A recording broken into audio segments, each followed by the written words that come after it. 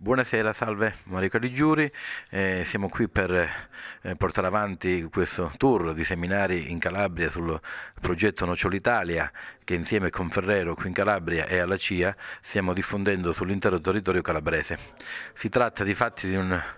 una grande possibilità che i nostri colleghi agricoltori eh, sulle zone diciamo, di, di, media, di, media, collina riescono, possono, possono usufruire di questa ulteriore consulenza e divulgazione per impiantare dei nuovi noccioleti con delle eh, varietà indicate da Ferrero.